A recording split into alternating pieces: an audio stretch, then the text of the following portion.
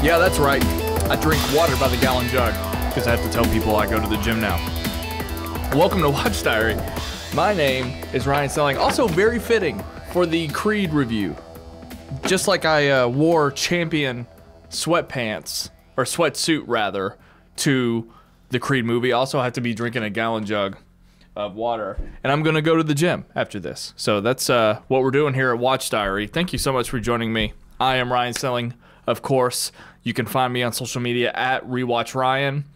And uh, it's been a minute. Thank you so much for subscribing and following me as always. I greatly appreciate it. We are here to talk Creed 3. This is like one of those movies where I feel like there's only one thing to spoil about a boxing movie. And um, I think that's the only thing I have to avoid is the one detail that spoils any boxing movie. Other than that, I think pretty much anything is fair game when talking about this movie. So I'm going to do just that. But first, some housekeeping and some anecdotes. Oh, let's get that out of the way. Um, guys, this is a movie palette, and they're really cool. So this is canvas artwork of the movie Fight Club, but you can get whatever movie you like, your favorite movie. Just go to moviepalette.com. You can use the promo code rewatch15 to get whatever you want at Movie Palette. There's two schools of thought and you've heard me talk about this. You can either get one that matches your room, a movie, of course, that you like, but a movie that matches your room, your aesthetic, or you can just get your favorite movie and uh, ball out something colorful like Blade Runner 2049 is one of the ones I love the most that kind of doesn't match anything that I have uh, technically, there's not a whole lot going on in my apartment in general, but I feel like Blade Runner 2049, though beautiful, would be a little too loud. Uh, so I got Fight Club, but you can get whatever movie palette you want. I think they've even branched out to do TV episodes as well. So go to moviepalette.com, slash, not slash, use the promo code rewatch15 to get 15% off. Um, I got my first check from them a couple months ago, and uh, it was awesome. So thank you so much uh, to the people who have already gotten one of those and um, yeah, they're cool. I like them. I need to hang mine up, but I'm not in my podcast studio. I keep using that excuse. I don't know when that's going to be up, but it's okay. Uh, you can also find the Audible code right here if you want a 30 day free trial of Audible. Um, anyway, so housekeeping and uh, anecdotes. Let's start with the fact that my boy Eric, my best friend on the planet Earth, um, gave me some shit but the story leading up to that shit was even funnier. So I was on the phone with him the other day, and uh, he was at home working from home. His wife was there, and I guess I was on speakerphone.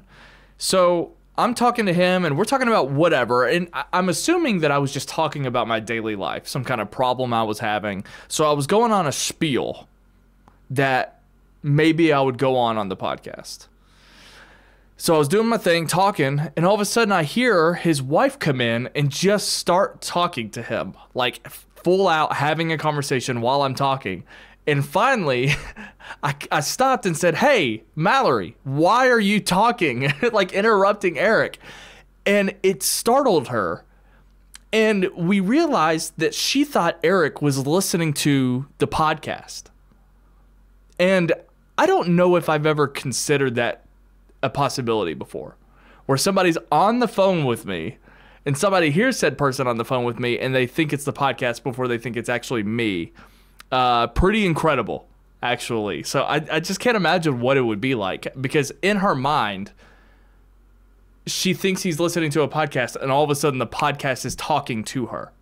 It's got to be startling and so weird. It's kind of like those moments. I always describe the moment where you order a drink. Like, let's say you want a McDonald's Coke and every time you take a sip of that, that first sip of the drink, if they get that drink wrong, no matter what it is, it tastes terrible because it ends up not being the thing you anticipated. Like those kind of startling moments, uh, it's got to be so weird. All of a sudden, be like, oh, wait a minute, this isn't a podcast. Ryan is talking. So, anyway, Eric giving me shit came from the fact that he said that um, a phone call from me is actually more likely because I don't record enough. So, there's that. I'm gonna blame it on movies. Yeah, I feel safe doing that. I'm gonna blame it on movies. I you know, 2023, I keep talking about how few movies I've watched. It is now the month of March, and I think I just watched my fourth movie of the year. Let's look. I just logged Creed 3, obviously. Let's go to my letterboxd.com, letterboxd.com slash rewatch Ryan. Creed 3 was the fifth movie that I've watched in the year 2023. And I've only seen three 2023 films. Incredible. But the month of March is actually stacked. There's a lot coming out. Um, and I'm pretty excited. I'm going to go see Scream 6.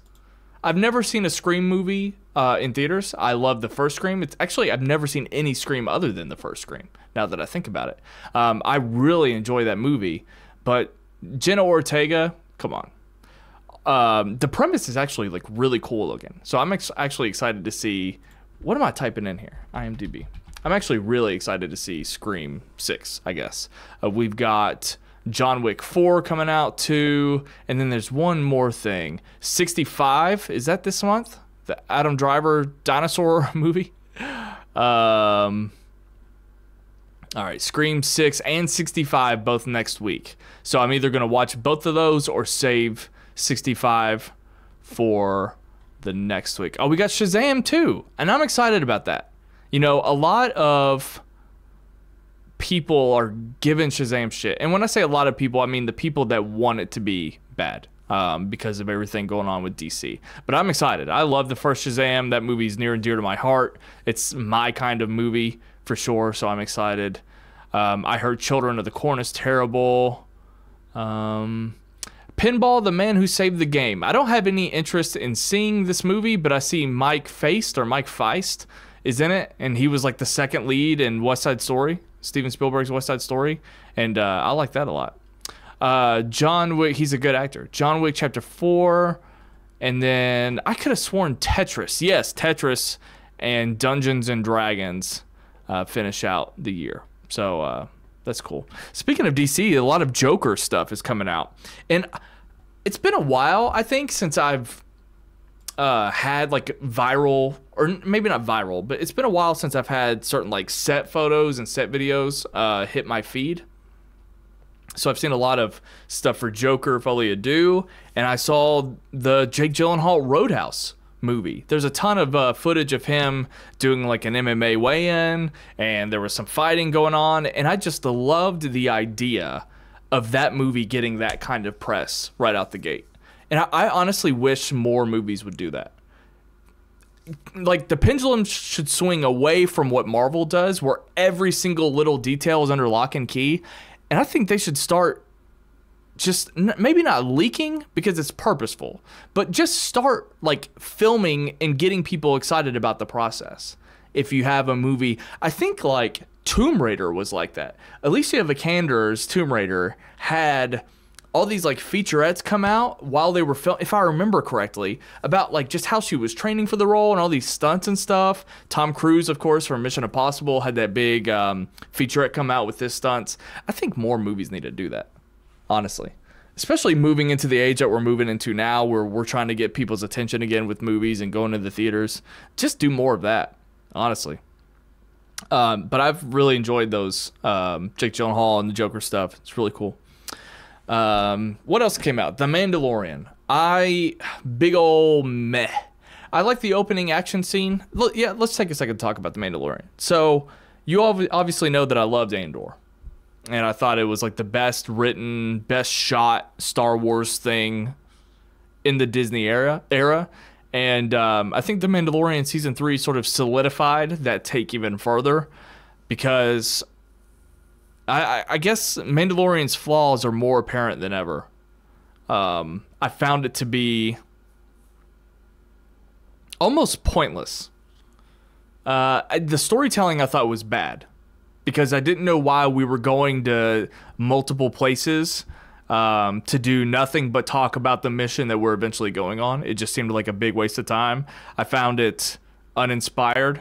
I thought the writing was bad you know, when you walk down, um, there's a scene where at the end, when he walks down the hallway uh, into the throne room where Bo Katan is sitting, and the fact that she's like already sitting there, the fact that we're watching him walk in, the fact that they have the most stilted conversation ever. I just thought it was really, really bad and made no sense. When you watch a show like Andor that is so character driven and the writing is so sharp and action and movement actually matters um, and tells you more about the characters, um, the the volume, Mandalorian sets, everything, it's just so stale and uninspired and poorly directed. And I just, it, it's so surface level and simple, honestly, but it's not even good simple. I think it's bad simple. So I don't really have any interest in continuing the season, honestly. It didn't get me excited. Um, honestly, I kind of forgot a lot of um, the show up until this point as well, so I had to watch the recap. Not that that's a big deal, but I just that kind of stuff makes me realize how out of love I am with it, the material. So I don't really know if I'm gonna hold on to it. Um, but anyway, a little bit of Mando talk. Um, let's talk Creed three officially. I really liked the short and sweet podcast I did last week. I think it's better that I don't just ramble on and on about things. And I guess it kind of is benefiting you all that I'm not watching a ton of stuff because now I can just do short and sweet podcasts. But um, let's talk about Creed 3. Creed 2 was.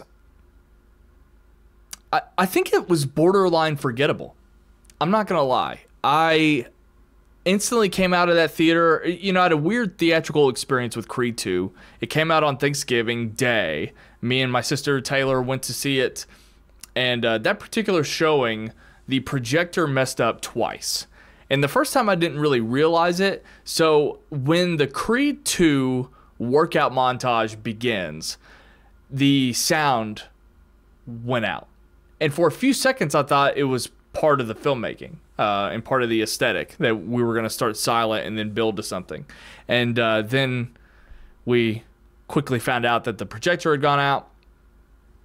And uh, we went out, and the people assured us that they were going to fix it. So I think they went back 10 minutes into the movie.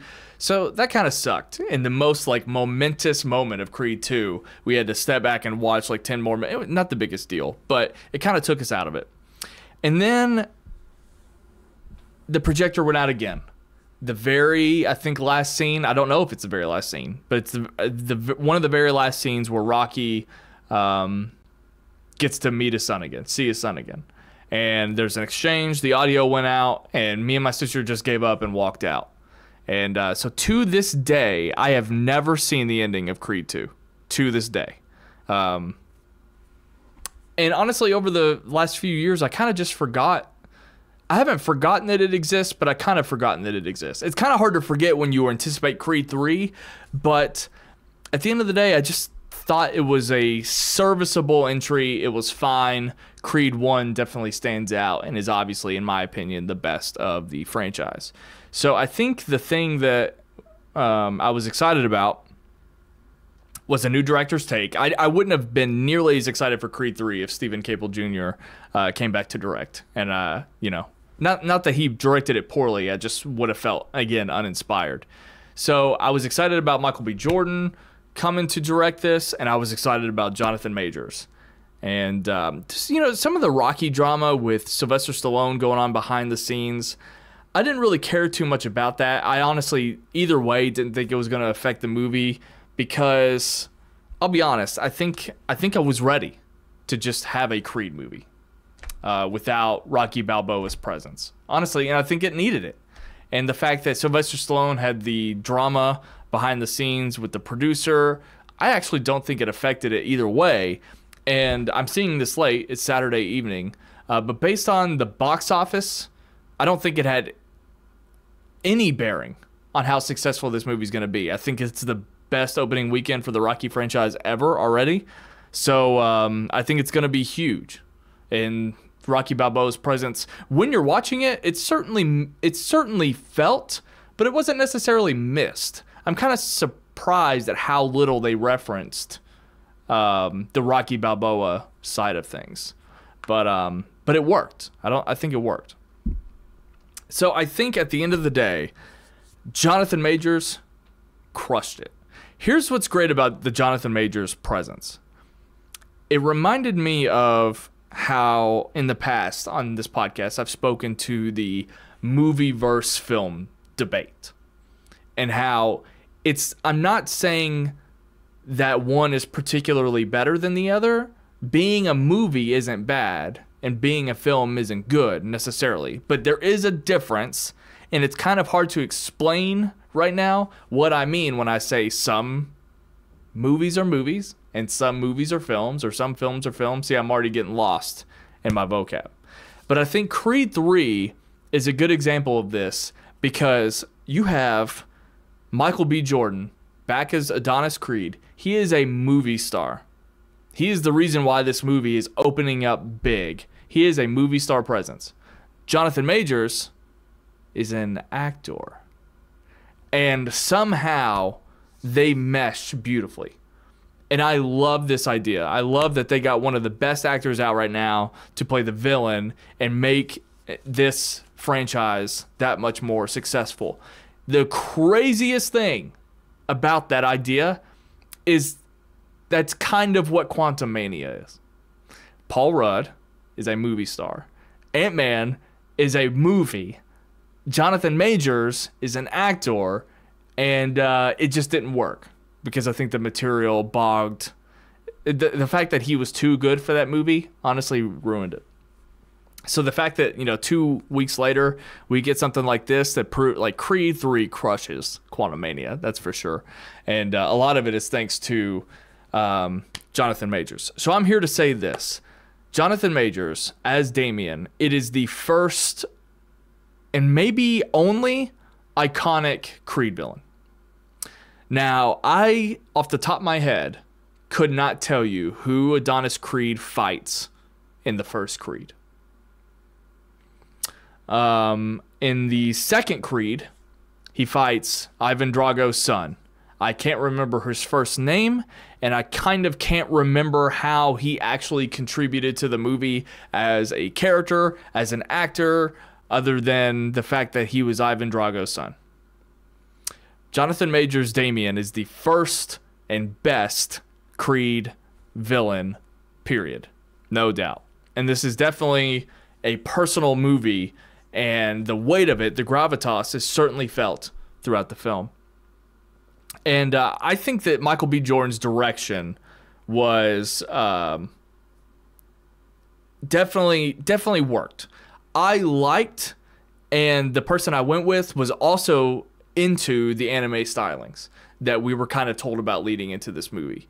So, as somebody who would definitely appreciate it, I don't watch anime, but as somebody who grew up watching like Dragon Ball Z, I definitely saw the influence and I definitely dug it for sure.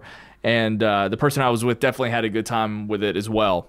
And uh, so it was a lot of fun to watch. And I appreciated that chance um, to do something different with the franchise, no doubt. And I think it worked. But you also saw Ryan Coogler it also felt very much like a Creed movie, and it wasn't just anime shots in the ring. It was a lot of the continuous shots that Ryan Coogler brought to the table as well. And um, I I saw all kinds of influence. I saw the uh, the Ryan Coogler influence as well, and I saw what he was doing, and I just think it definitely definitely worked. And there was one. I think the final fight scene I thought was super creative, and I don't know. I think there's a few reasons for how they filmed the final scene, but it's a very intimate, more intimate than probably any other fight in a boxing movie, it, it, where you really just get to focus on two characters. And there's some artistic direction that's taken, and I actually really liked it. It's very unusual for this type of movie, for a sports movie, but um, I think it really, really worked actually. At the end of the day, I do think that there are. This movie asks you to. Um, this movie sort of needs permission to just like let things go. Uh, the trajectory that the Damien character goes on is not realistic, but um, it is fun and dramatic, and it definitely pays off for sure. And it is fun to watch. Even again, it's not realistic at all. There are unfortunate times where certain characters are kind of just there to serve the plot as well. I, you know, there's a lot of great family dynamic. Um, I think that works ultimately. I love Tessa Thompson a lot. I wish she had more to do in these movies. Uh, she does enough um, to, I think, help the story and lift up the story. She's not entirely pointless, but at the same time, it is very much just a role to uplift Adonis, and I wish that she had a little bit more to do. And I think that the franchise is going to go in the direction where the women take precedent, actually. Um, and I think that's another way that we can do something different with the franchise, for sure. Um, I think that this is easily the second best Creed movie. Creed 1 is one of the best movies um, of the last decade. So when it came out 2015, so it was eight years ago. The the first Creed is incredible, and I think this is easily the second best. Uh, Creed 2 is my least favorite Creed movie, but um, I, I think that it worked. It was visceral. They looked incredible on screen. Jonathan Majors and uh, Michael B. Jordan looked incredible while uh, filming this. Um, I literally can't believe that that's all this podcast has become. it's crazy. I only needed 10 minutes to talk about this. Um, but maybe I'd be more willing to record, um, especially the more movies that I see. Um, but this is a short and sweet little podcast here. I think Creed 3 is definitely the best movie that I've seen this year so far.